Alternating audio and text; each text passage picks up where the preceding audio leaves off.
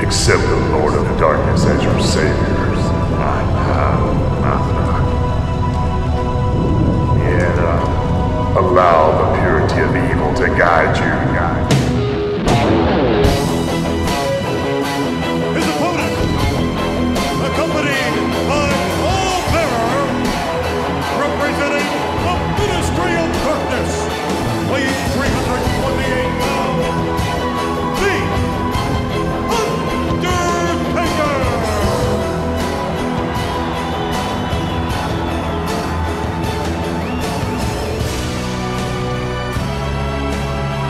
mission has been to take control of his company.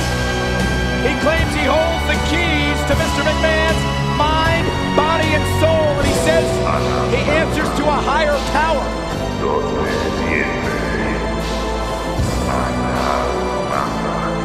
Wow.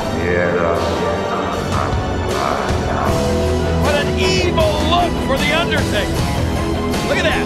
He has assembled an awesome force, the Ministry of Darkness. He's threatened Mr. McMahon's family.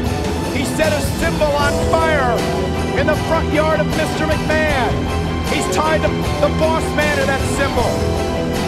He was arrested for this cause. Look at that face, that beard. He's starting to look like Lucifer or Beelzebub. Really scary. It is ministry versus corporation. It is boss man versus undertaker. Hell in a cell. There's one way in that's through the door. It's now being latched shut. Paul Bearer's outside. There's no way in, folks. There's no way out.